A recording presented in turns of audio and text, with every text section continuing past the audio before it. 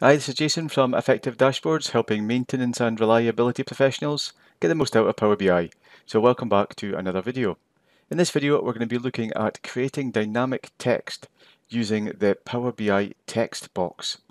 And this dynamic text will have measures embedded into it, which will change depending on the filters that are applied to each report.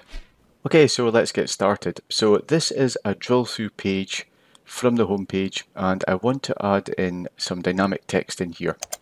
So I've already added a text box and it's got a title here and this is a text box you need to add so it's one of the standard visualizations for, for Power BI. And the first thing I'm going to do is just start typing in some of the text that I want to display. And I want to call out the number of work orders that are actually selected within this particular um, filter context that's been inherited from the through the drill through. So I'm going to put there are, and then I want to put a value in here. So I'm going to click on this plus value option here, which is shown in this text box. So whenever you click on the text box, this will pop up, and I'm going to add a value in. Okay, now the first thing I want to do is go and find this value here by typing it in this box here. Now I know that the measure I'm looking for here is backlog count, okay? So let's start typing that and we can see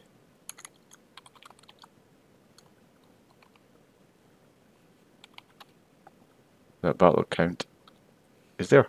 So let's add that in. And underneath we can see the result. So we're fairly confident that that 109 is the, the value that we're looking for.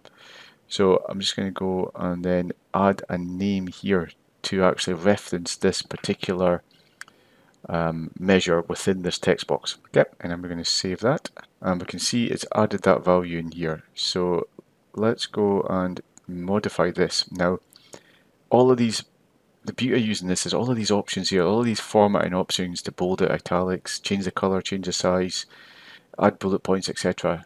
They're all available for us because we're using the standard text box. So the first thing I want to do is make everything 14 and I'm going to make everything the same color which is going to be this color here.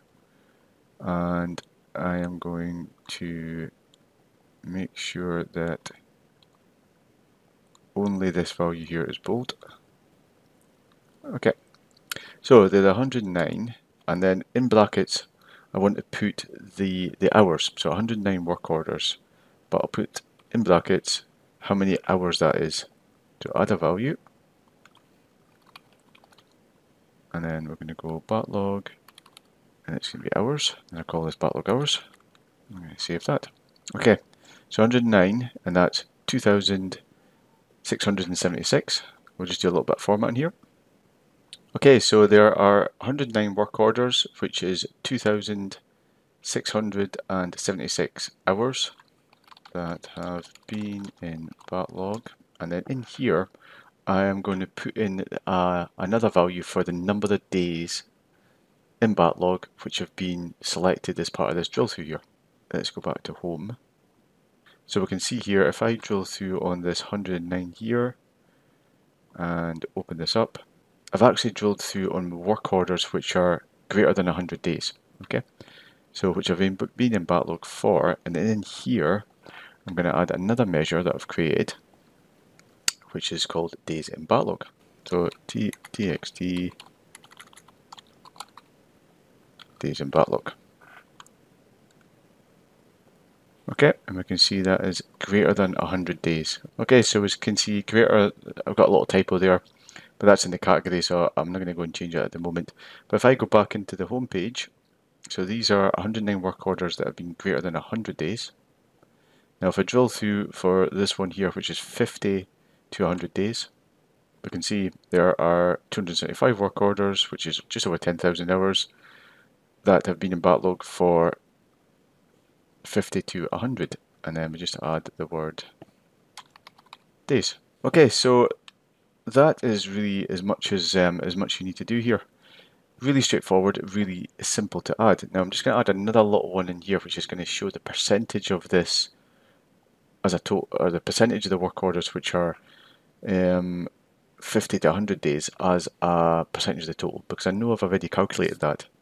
So we can leverage that measure in this text here. Okay, this is 36.9% of the total backlog. Now the reason I've got this is I want to be able to go now and change this here to only be one decimal point. And you can do this directly in this text box. And I'm going to go in here and we can see that it's got this percentage here.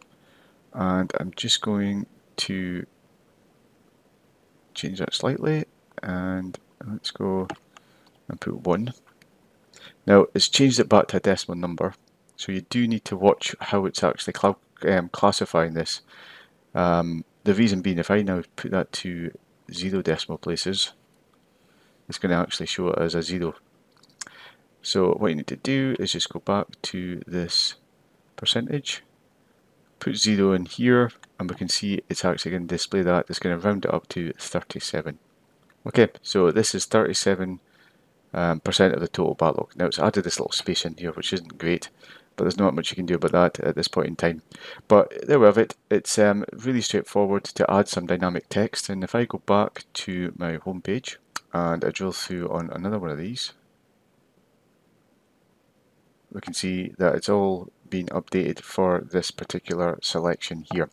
So hopefully it's given you some ideas on how you can add or quickly add and leverage some of the existing measures you've got to create dynamic text boxes, particularly for titles and areas of the um, areas of your, your report that you just want to add a little bit extra narrative just to help understand and um, and, and guide people through some of the most important figures or facts and figures related to the information that's been displayed.